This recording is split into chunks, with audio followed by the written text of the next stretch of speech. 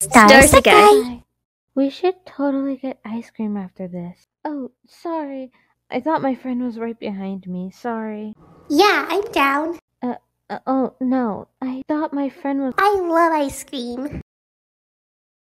I'm gonna get sprinkles. No, I I didn't mean to ask you. Hey, I lost you there for a second. There you are. We're gonna go get ice cream if you wanna come. Who are you? I thought she was you, and I asked her if she wanted to get ice cream. I'm already getting sprinkles, but you can get caramel sauce if you want. What? We can get the same topping. I call dibs on hot fudge. Don't listen to her. I call dibs on waffle cone. Aw, I wanted a waffle cone. We don't even know her.